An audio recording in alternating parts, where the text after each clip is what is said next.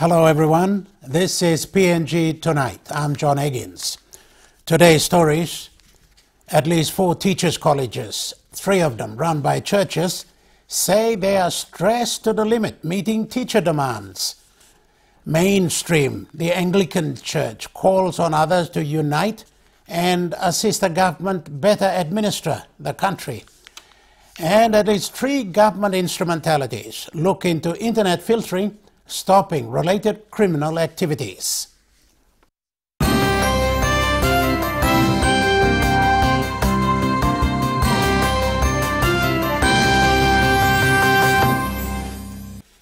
It's been a popular policy across the country, but as with everything popular, there is the downside with the tuition fee free policy of the government.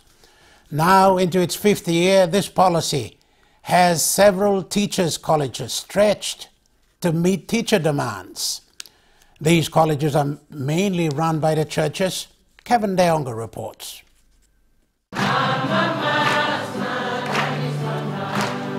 From Enga Teachers College to Holy Trinity in Mount Hagen, Melanesian Nazarene in Jiwaka to Gaulim Teachers College, the issue of infrastructure is common among them.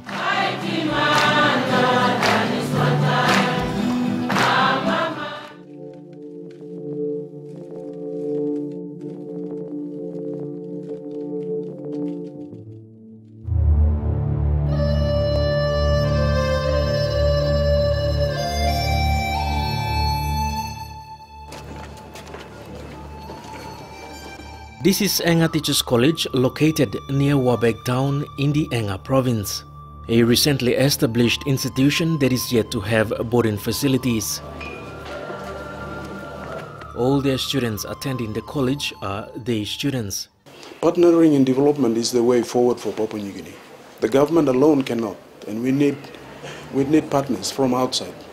And European Union has, is one of them, has done a wonderful job in the country through HRDP1. At the moment, there are 11 registered teacher training colleges in the country, recognized by the government to carry out training for primary school teachers. Melanesian Nazarene Teachers College is another newly established church-run institution in the Jiwaka province. And that is being emphasized Over the last two years, we were training students for um, two years two-year program, and uh, as of um, 2013, it's changed to a three-year program. So now currently we're in three-year program. So my college at this time is going through a three-year program. So we have second batch of students who are in second year. By next year, we will have pioneers graduating from this teachers college.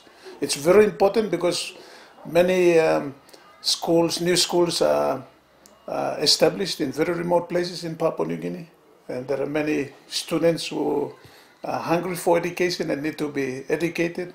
So remote college like Melanesian and Nazarene Teachers College is known as rural, rural teacher training college, which trains teachers to go out to very remote parts of Papua New Guinea. There are over 100,000 primary school students nationwide, and as explained by the principal of Gaulim Teachers College, they cannot meet the required 5,000 teachers each year. It's still a great need because currently most of the teachers college cannot uh, supply. The government of the day required us to produce 5,000 teachers every year. We're only capable of producing 2,000 teachers. So we a shortage of 3,000 per year. And having these buildings for Gaulim Teachers College, Meden Teachers College and Balop Teachers College, and I know Bomana Teachers College, we now boost to rise up to three to 4,000 kina to graduate in few years' time, and that now stabilize the demand of shortage of teachers. Principals of these teacher training institutions share the same sentiments. I believe for other, other institutions, those need to receive some infrastructure and development, but if there's any possibility, then Holy Trinity could be uh, given some uh, assistance in the infrastructure because the this institution is the uh, first in the highlands. It's over 50 years old. We are not even going beyond two, 200, uh, 300 plus in this college because we want to maintain standards. Uh, previously, this college went into uh, some sort of chaos with uh, over enrollment, no classrooms, and all these type of things. So just to maintain standards.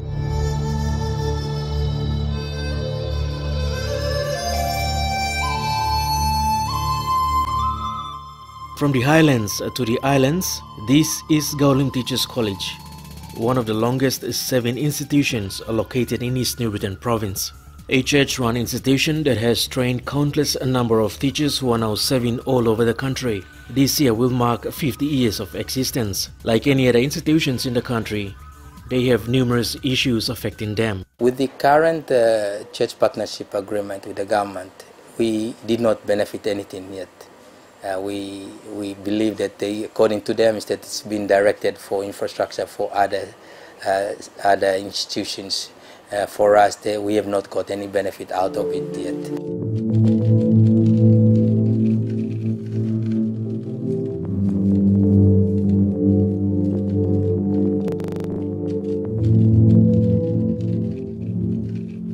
Principal Segeru Woda says while the free education policy has come at the right time, the demand for teachers is still very high. There's a lack of teachers.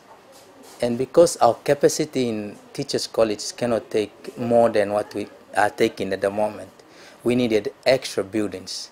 And with the European Union giving us the biggest building, approximately 123 spaces, will give us an 123 enrollment extra, which would mean that our output to the needy schools will be gradually satisfied and we'll be looking forward. If European Union can give us more we'll go forward to grab as many as we can. Currently we only grab 166 but if there's going to be more scholarship we'll go for 200 that will now enable us to supply remote areas enough teachers and that will solve the problem of shortage teacher teachers in those areas. It needs a great deal of thinking, huh? thinking. Okay, so morally. Through the Human Resource Development Program, the European Union was able to sponsor more than 700 non-school leavers for primary teacher training since 2006. So far, Gaulim has been taking on board European Union-sponsored students since 2010, almost 200 plus. European Union it's a community that has uh, given us a lot of boosting to our uh, training in Gaulim Church College.